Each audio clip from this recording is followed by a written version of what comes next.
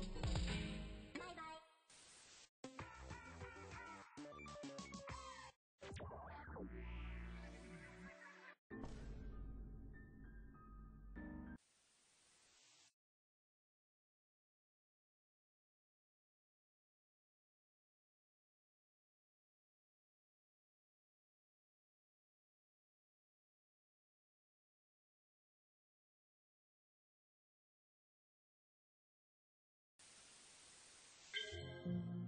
I'll let you in Taco today.